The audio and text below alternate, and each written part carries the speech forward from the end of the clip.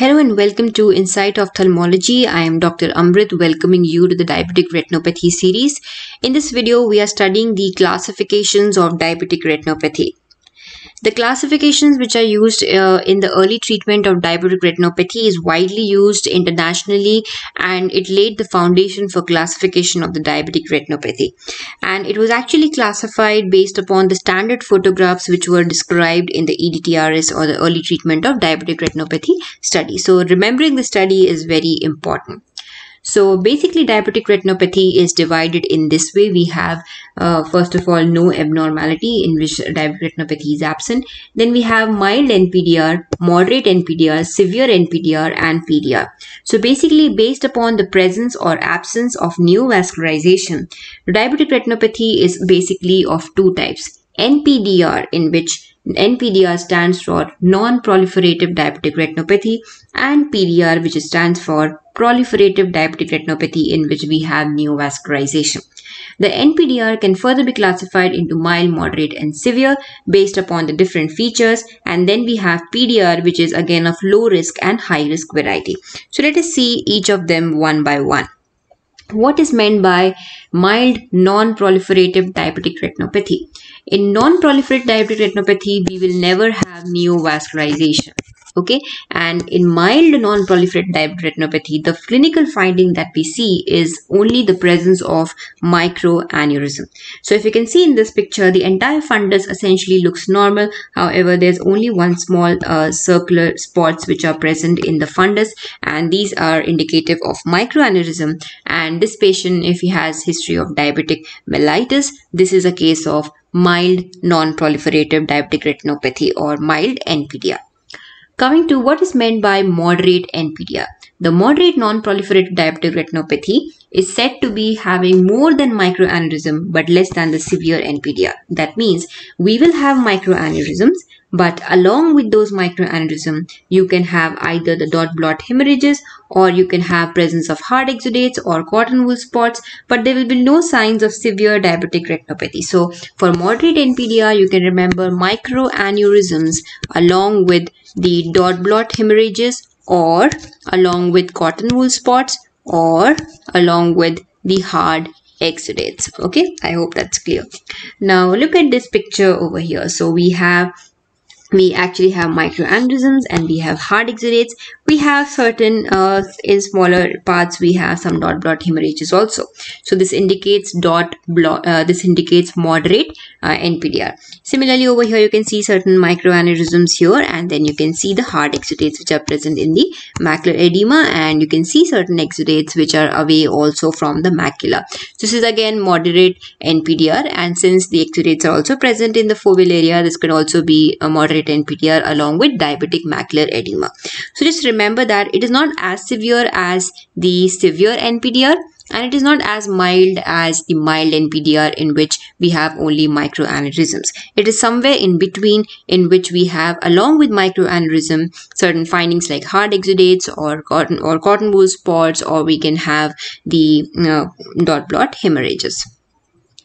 So what is meant by the severe non-proliferative diabetic retinopathy? In order to remember severe NPDR, you have to remember number one and understand what is meant by 421 rule of severe NPDR. The 421 rule stands for presence of intraretinal hemorrhages and microaneurysms in more in about four quadrants okay? And when i say four quadrants that means if i divide the retina into four quadrants like this the intraretinal hemorrhages and usually it is said more than 20 intraretinal hemorrhages should be actually present in all the quadrants. And like this hemorrhages should be actually spread out all across the retina in all the four quadrants. So that is the first four of the 4 to 1 rule. Second thing is the presence of venous beading in two quadrants. Now in my video on clinical features of diabetic retinopathy, I explained to you what is meant by venous beading. So if you see this venous beadings in at least two quadrants, okay, it could be more than two quadrants, but if you see it in at least two quadrants, it is the number two uh, second rule of the 421. And what is this one quadrant? If you see presence of IRMAs in one quadrant, that is the number one of the uh, 421 rule, right? So 421 stands for presence of intraretinal hemorrhages in all the four quadrants, venous beading in at least two quadrants, and IRMAs in at least one quadrant. Now, if any of these three, three uh, these three is present, any one of these three is present, the person is said to have severe NPDR. So what I mean to say is if there's a person who has diabetic mellitus and he comes to you and you see the there are hemorrhages all across the retina, that means the patient is having severe NPDR or if the patient comes to you and he has a, if you see there are two quadrants of venous beading that makes it a severe NPDR. Or if you see a patient, he has only IRMAs in one quadrant, again, it makes it a severe NPDR. So any one is also sufficient to classify it uh, to the category of severe NPDR.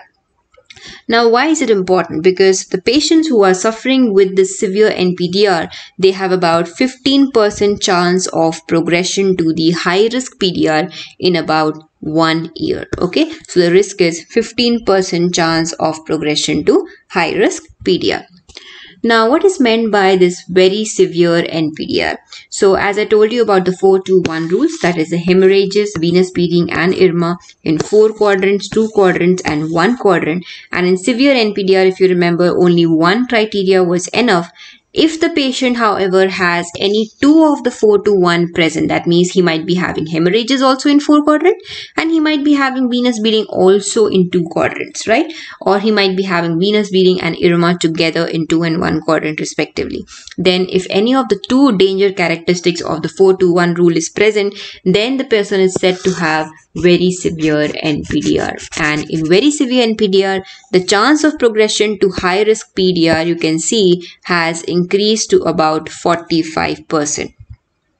So just have a look at these fundus pictures okay? So you can see the hemorrhages almost entire four quadrants. You can see multiple hemorrhages are present and you can see venous beading in about two quadrants and this is definitely a high risk uh, uh, it is a definitely a severe uh, NPDR because there's no uh, neovascularization over here it is NPDR and since you are seeing venous beading in two quadrants and hemorrhages in all the four quadrant it is a severe NPDR now just look at this picture over here. You can see again the uh, hemorrhages which are present in almost all the four, four quadrants here. You can see the small small microaneurysms are also present and there are hemorrhages also which are present and uh, uh, so this will again make it a case of severe uh, NPDR. Coming to the proliferative diabetic retinopathy which is called the PDR. Now in PDR, one or both of the following will be present. So what are those uh, characteristics? The first is the presence of neovascularization and third is the manifestation of neovascularization that is vitreous or pre-retinal hemorrhage, right? So about 50% of the patient who are having very severe non-proliferative diabetic retinopathy, they will progress to PDR within about one year. So as I told you, this is just a uh, rough estimate because the patients with uh, severe NPDR, 15% chance chances there and uh, those which are having very severe 45% chances there. So on average about half of the uh, half that is about 50% they have a risk of progressing to the proliferative diabetic retinopathy within about one year time frame so, uh, what is exactly the certain important features of the PDR that is proliferative diabetic retinopathy? The proliferative diabetic retinopathy is actually characterized by neovascularization. And as I told you on my video on IRMA versus neovascularization, these are nothing but new vessels which are coming from the retina and optic disc and they will proliferate superficially along the retinal surface and into the vitreous with or without a fibrous component okay? So usually uh, the neovascularization will occur when more than one fourth of the retina is actually non-perfused. Okay? So almost one fourth of the retinal area should be ischemic to develop new neovascularization and mainly it is the retinal hypoxia which will actually manifest as capillary closure and capillary dropout areas which will lead to non-perfusion and ischemia. And finally we have this cascade in which neovascularization will occur that will cause the proliferative diabetic retinopathy now new neovascularization can happen actually at different different locations based on which it is actually labeled So we can have this new neovascularization present on the disc, which is called the NVD, in which the new vessels are present on the disc or within one disc diameter of the optic nerve head. Or we can have the neovascularization elsewhere, NVE, in which the neovascularization is in the retina away from the one disc diameter from the disc. And the new vessels can also come on the iris, which is called rubeosis iridis, which carry a very high risk, of course, of progressing to neovascular glaucoma. Now, there are certain complications which occur with neovascularization, whether it is on the disc or within the uh, other than the disc, which is called neovascularization elsewhere.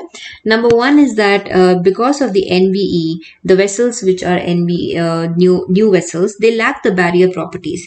That's why the fluorescein will actually very rapidly and intensively leak from them, and that is how you differentiate them from IRMA. Moreover, they are very fragile and they tend to bleed very easily into the vitreous and causing obscuration of the media because of the vitreous hemorrhage or pre-retinal hemorrhage. Along with that, the new uh, vessels, they are associated with fibrosis and gliosis and membrane formation.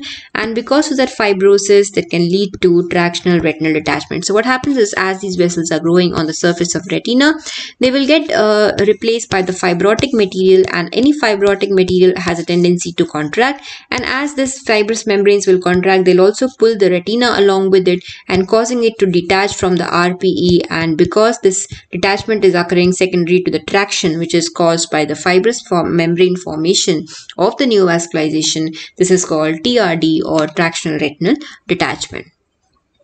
So what is meant by this high risk uh, PDR? The high risk PDR classification was given by the diabetic retinopathy study also called the DRS study okay?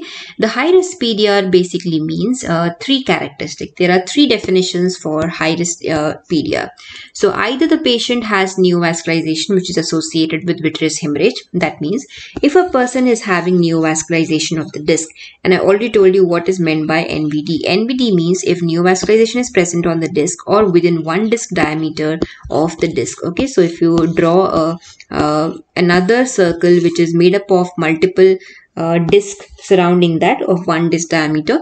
If any new neovascularization is present on in that area or on the disc that is called NVD. So if you have just a new neovascularization present and along with that you have vitreous hemorrhage then it is called high risk PDR. Okay, so that is the first criteria. Second criteria is when the neovascularization of the disc is more than one fourth of the disc area. That means if you divide this disc into four parts and you have neovascularization present in one quadrant, okay, and more, sorry, more than this one quadrant, that is more than one fourth, okay, then the vitreous or pre-retinal hemorrhage present uh, is present or not, it does not matter okay? Just mere presence of neovascularization of the disc which is more than one fourth of the area of the disc is sufficient to classify the patient as high risk PDR then we have the neovascularization elsewhere Neovascularization of the elsewhere whose area is about more than half of the disc, disc area along with the vitreous hemorrhage or pre-retinal hemorrhage is again classified as the PDR. So if you want to remember what are the features of PDR, remember that number one is the presence of neovascularization which is more than one fourth of the disc area, number one. Number two is any neovascularization of the disc along with the vitreous hemorrhage and third is new neovascularization elsewhere which is more than half the area of the disc along with vitreous hemorrhage. So for new neovascularization elsewhere always you need vitreous hemorrhage to be present. For a simple new neovascularization of the disc you need vitreous hemorrhage to be present. However if the new neovascularization of the disc itself is so big that means more than one fourth of the uh, entire area of the disc then you don't need vitreous hemorrhage and pre-retinal hemorrhage for classifying the patient to the high risk PDR group. So I hope that is clear. So just have a look at this picture. You can see so many tufts of vessels and just look at this disc. Okay, there is NVD no doubt. And you can see almost uh, half of the disc is involved with this NVD. So this is like definitely more than one fourth of the disc area. and since it's more than one fourth for this uh, disc area you don't need to now search for vitreous hemorrhage and stuff like that so definitely this is a high risk PDR case. Similarly, over here also you can see there is all this uh, disc uh, neovascularization of the disc present. At the same time, there's also NVE which is present. So when you have NVD and NVE both present, always use the NVD for classifying the patient for the high risk PDR. So you can see it is more than half again. So definitely this is a case of uh, high risk PDR. However, if you consider NVE alone, this is almost about one disc diameter, which is more than half. So it fits a classification but there is no vitreous hemorrhage in this case and there's no pre-retinal hemorrhage so if you consider only the NVE it will not fit into the high risk uh, PDR category but uh, whenever NVE and NVD both are present we have to consider the NVD and since NVD is present and it is more than one fourth of the disc diameter or disc area then definitely this is classifying and falling into the high risk PDR so I hope that is clear to you now look at this picture. Here the NVE is at the NVD actually is not much. It's very small and you can however see over here this boat shape hemorrhage, the pre-retinal hemorrhage. So just the presence of NVD along with the boat shape hemorrhage, pre-retinal hemorrhage will definitely definitely classify this patient uh, as the high risk PDR. Okay. Similarly, here you can see some blot hemorrhages. Here actually the patient is having vitreous hemorrhage which is obscuring our view. So probably this is also a case of PDR along with vitreous hemorrhage. Now we do not know whether it is high risk or not because we do not have a view of the new vessels elsewhere or on the disc. So what does the term high risk PDR basically mean? So what is the risk and what is this high risk that we are talking about? So it means that the patients with high risk PDR, the patients with this level of neovascularization actually have a very high risk of severe vision loss. And what is meant by the severe vision loss in diabetic retinopathy study? The severe vision loss or SVL actually means when the Snellen's acuity falls below 5 by 200 okay?